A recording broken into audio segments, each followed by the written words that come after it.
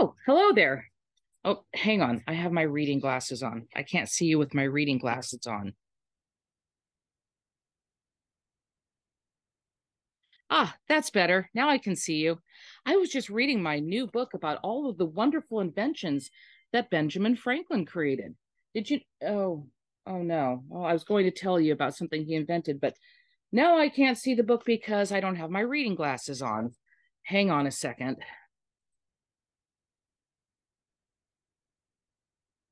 Oh, now I can see it again. You know, this is so frustrating.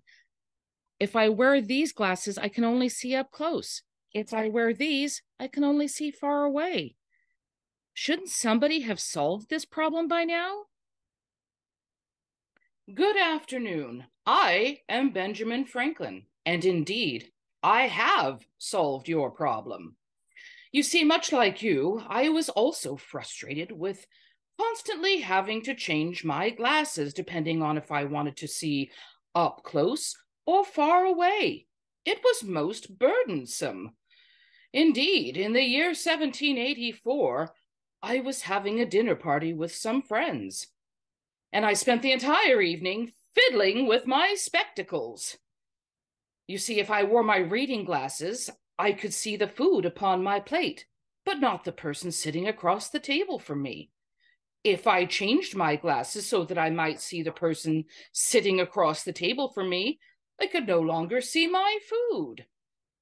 It was quite vexing.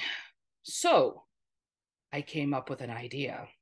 I cut the lenses of each of my glasses in half and combined them so that the top of the glasses had one type of lens and another type at the bottom. They looked something like this. The lenses at the top are for seeing far away, and the lenses at the bottom are for seeing up close. So you see, now I merely have to look downward if I want to see a book, or perhaps my food, or just look upward if I want to see someone sitting across from me or something else that's far away. I call my invention the double spectacles and between you and me, they are quite clever, if I do say so myself.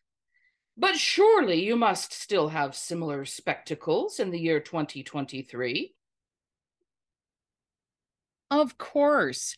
I forgot that Benjamin Franklin invented what we now know as bifocals.